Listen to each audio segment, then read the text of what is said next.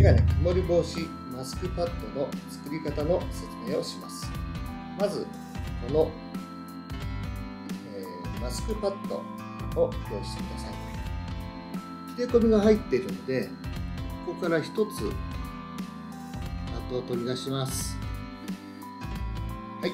次に、えー、こちらの両面テープが入ったシートですね。こちらを出してください。で一応山折りにしていただくと使いやすいんですがここから一番上のラインをこのように剥がします、はい、このように1行が、えー、両面テープ剥がれている状況になりましたら置いていただきここに先ほどのマスクパッドを置きます。この時強く押してください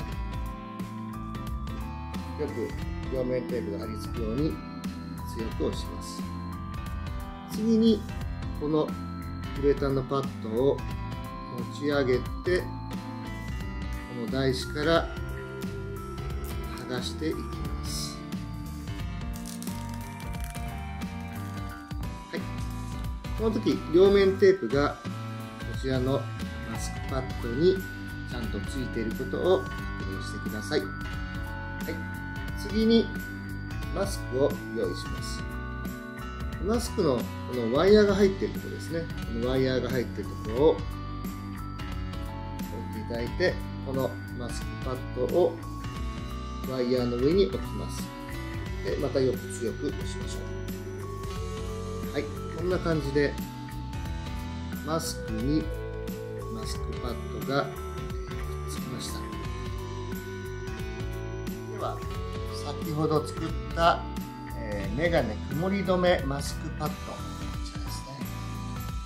こちらを、えー、装着していきます。まずこの谷のところをワイヤーを軽く折ってください。はい装着します。穴のところをよく鼻に合わせてくださいね。はいいかがでしょうか。